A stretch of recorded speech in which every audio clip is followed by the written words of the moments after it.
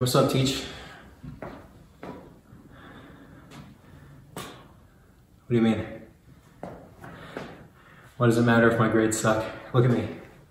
Look at me. What if, uh, what if I was to persuade you a little bit? How about that, huh? See this fucking chest? See how fucking meaty it is? You don't want to kick this chest out of school. Come on. You don't want to flunk this chest.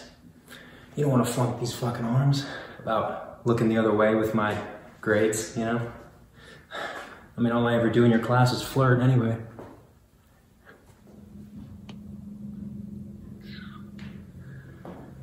We can make a schedule. I can come in here after practice every day or after the gym every day and just flex for you.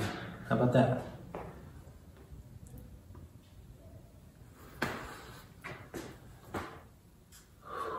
You don't mind, do you? Yeah, I know.